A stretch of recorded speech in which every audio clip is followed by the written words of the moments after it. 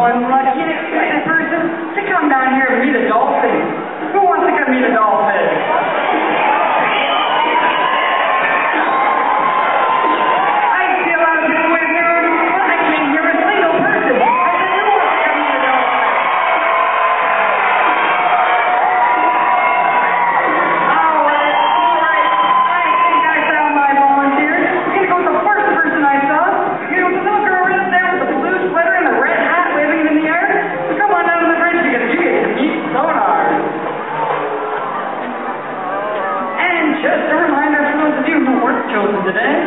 stop by Arctic Cove and have a friendly meet and greet session with the beluga whale. And on your way over there, don't forget to stop by Friendship Cove and splash things up with our family of orcas.